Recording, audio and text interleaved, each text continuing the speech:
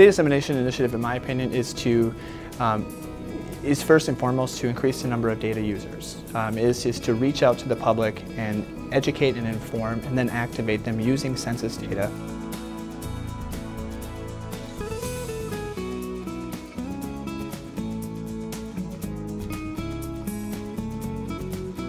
We wanted to get out and market the availability of workshops and presentations so we could get out there and present the data. And we decided to try to send out e-blasts and the first one we sent out was census data for grant writers because we do a lot of work with community organizations and nonprofits and it's an ongoing need. So we've actually sent that e-blast out a couple of times and had a huge response to that.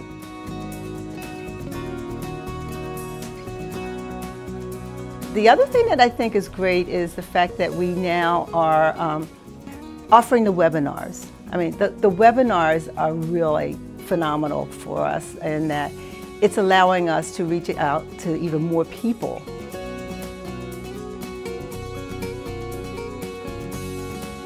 We come up with a concept what's going to be the content of the webinars and we're getting a lot of uh, good feedback about our webinars. We uh, address topics from how to access data using American Fact Finder uh, to how uh, uh, geography works within the census or what's available for you.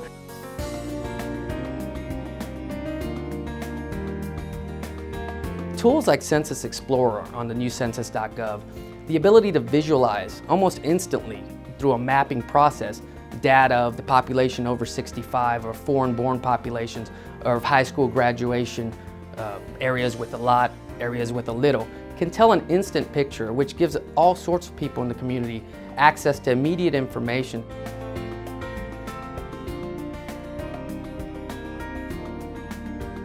Some of the new tools that uh, people have found very helpful are Easy Stats, which cross-tabulates uh, characteristic data by race and ethnicity and also has the margin of error available just by uh, checking a checkbox. So they can also see the reliability of the data right on the tool. My congressional district we have used um, extensively with congressional briefings, visiting the uh, field offices for all the representatives in our district and the senators as well.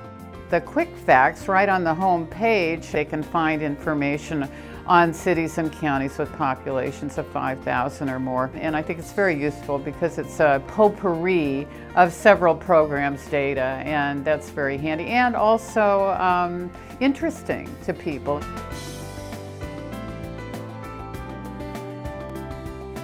You start to realize, and one of the most enriching parts of our job is that you can be part of the solution.